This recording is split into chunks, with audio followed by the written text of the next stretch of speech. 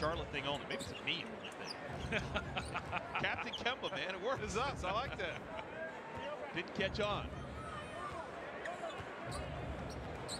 Hornets holding for the final shot.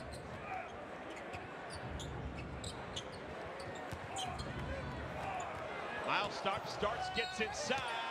Chance for a three-point play.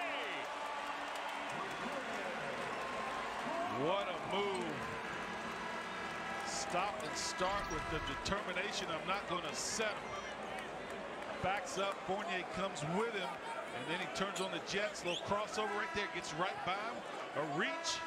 Oh, you got to hit him harder than that. That was a right-hand finish, Eric Collins. Yeah, it was. So Miles, who had been just two for nine, still confident, finds himself at the free throw line trying to finish off a three-point play. This would be a win for me going into half. It was, it was down single digits with the way you played in this first half. All right, still 3.3. Hornets have been victimized by some heaves over the last couple of weeks. Kemba with a running start. Nope. And Cody Martin's shot is after the buzzer. So that will do it for our first half of play. The Hornets